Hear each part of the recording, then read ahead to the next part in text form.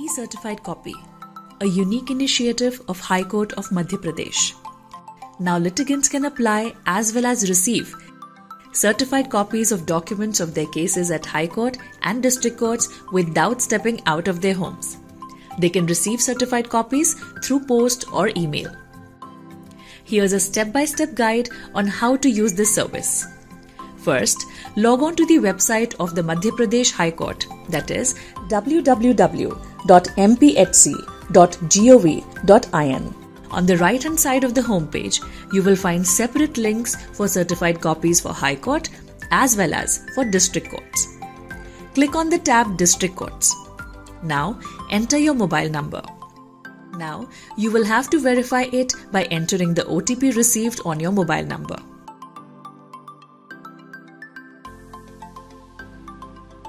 Now, fill other details relating to the case like name of the district, case type, and case number. Press the search key.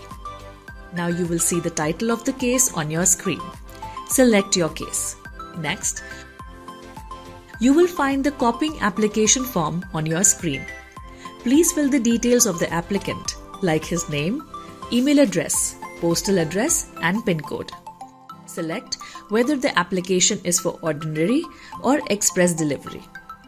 Select the purpose for which the copy will be used, that is, personal use or otherwise.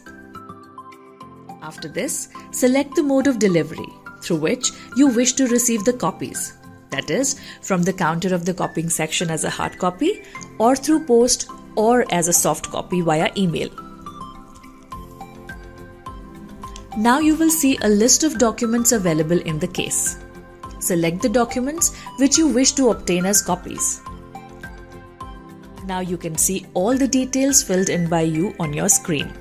If all the details are correct, please proceed for payment of the copying fee. Now you will be taken to the e-payment portal of the government treasury. You can see the details of the copying fee on your screen. Now select your bank for making the payment and press the submit button. Please complete the payment by going to the bank's payment portal. The payment can be made via net banking, UPI, debit card, or POS machine. You will now receive a cyber receipt number. Now you will be taken back to Madhya Pradesh High Court's server. On confirmation, a success message will be displayed with an acknowledgement number. Please keep a note of the acknowledgement ID for future reference. The process of filing online certified copy is complete.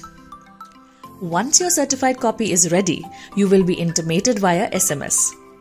You will receive the certified copy in the mode opted by you. Wasn't it easy? Avail this convenient service to apply and receive certified copies at the comfort of your home or office.